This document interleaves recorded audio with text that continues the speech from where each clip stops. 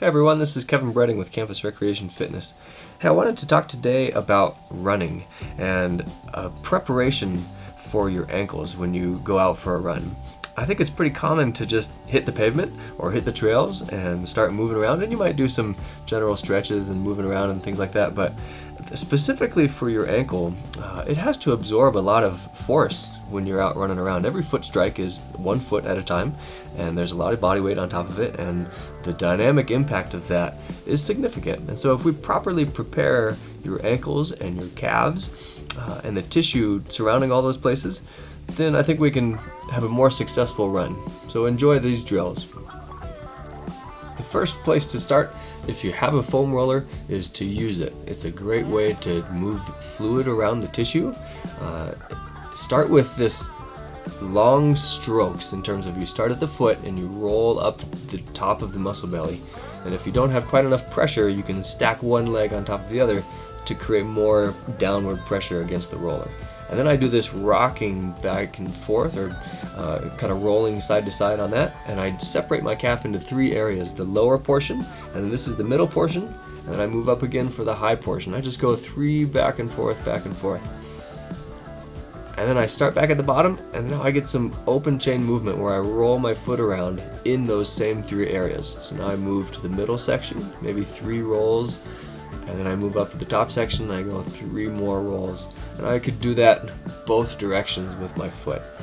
And then I transition to a rub and scrub of my of my shin so that anterior tibialis muscle has to decelerate every foot strike and getting some friction, some cross friction against that is great. A foam roller can work. If you want to use your hand for that same purpose, go ahead. And now I'm going to move to a standing open chain action. So just balancing on one foot, I'm going to plantar flex and dorsiflex, meaning point my toes and pull them back up.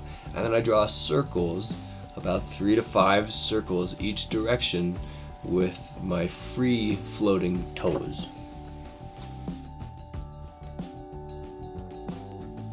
Then I move into a closed chain dorsiflexion and plantar flexion. So with my feet on the ground, I drive my knees forward over my toes and then stand back up. And that's going to put a little bit more weight and pressure into that dorsiflexed position. Then I move into closed chain ankle circles. I kind of use my hands to press my knees against. I'm squeezing my hands with my knees and I work through circles on each direction. And I can allow my toes to lift up and I allow my heels to lift up as I roll through those circles.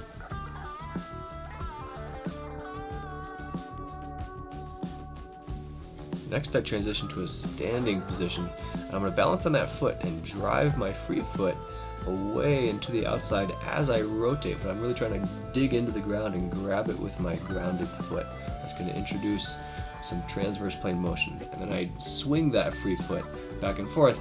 A similar idea, but just a little bit different. I get more behind when I go into that backswing. Perform maybe five reps on each leg with both the side shift with that free foot and then five more swings front to back.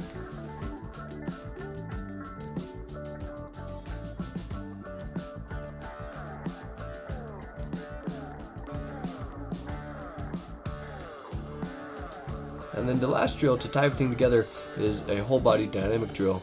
I start from a still half kneeling position and explosively drive up out of it.